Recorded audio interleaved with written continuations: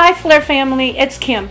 And if you're a teacher like me, you know that there's one thing you always wish you had more of, and that is time to get through all your curriculum. I need more time.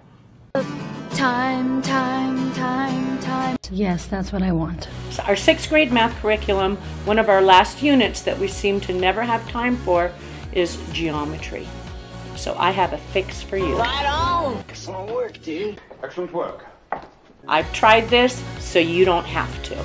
I call this holiday wrap up. I guarantee you your students are going to have some fun. You play some holiday music and they will learn how to calculate volume and surface area and all the while they'll be wrapping presents.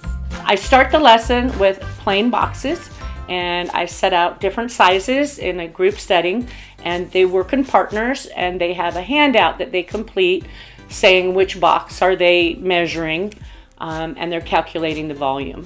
Um, after they do that and they've checked their answers, then the fun part comes in.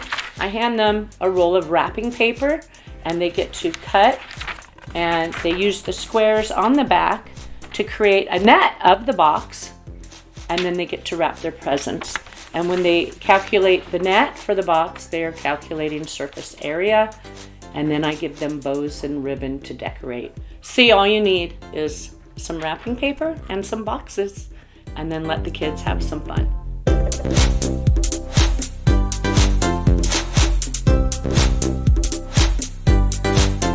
So what are the pros and cons of this activity? Well, pro number one, your students are gonna learn how to calculate volume and surface area. At the same time? At the same time.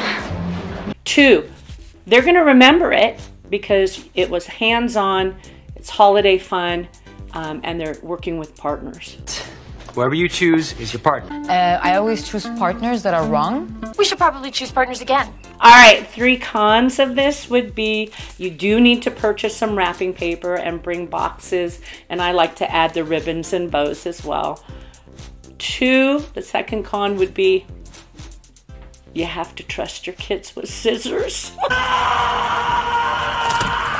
out!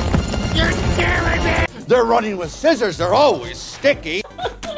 and that can be scary, okay? Uh, I'm being very honest. So you really need to monitor the students. And three is cleanup. But get the kids to help you. They made the mess, they clean it up. There you have it, your holiday wrap up geometry lesson. Memorable, fun, and engaging. That's a wrap.